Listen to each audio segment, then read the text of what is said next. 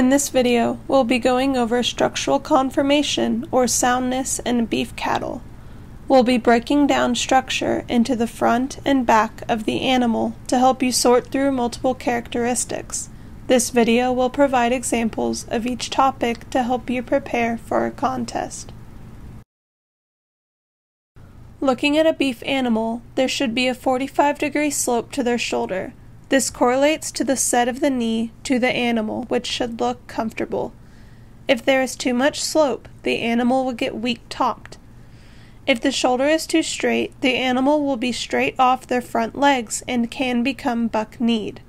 Additionally, from the front three fourths view, animals should blend or transition from their shoulder to their foreribs smoothly. A big open shoulder is associated with calving issues or dystocia. A narrow shoulder is often correlated with a narrow made animal or light muscled.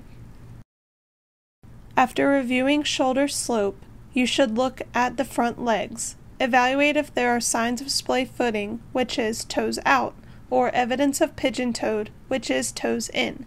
Cattle ideally are squarely made from chest to knee to ground. After evaluation of the legs, look closer at the hooves. You want to see even sized square hoof shape.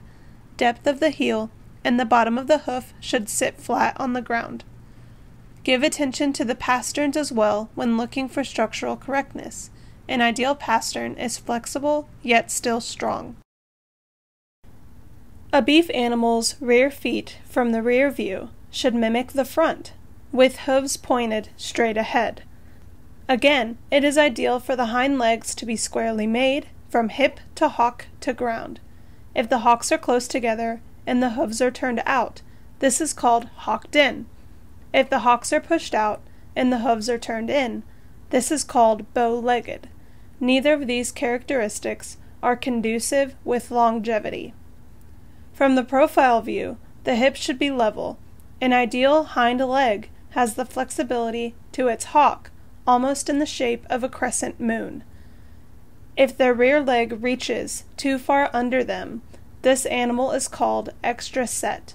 Or, if the rear legs are too straight, this is called straight legged or post legged.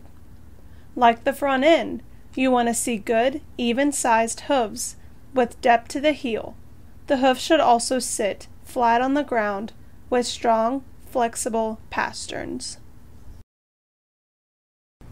After evaluation of the rear legs and feet, look at the beef animal's hip bones, or also called the hooks and pins. You want to make sure they are level. If you see a slope from either direction, this is undesirable. A level hook and pin allow for a longer rump and higher quality conformation.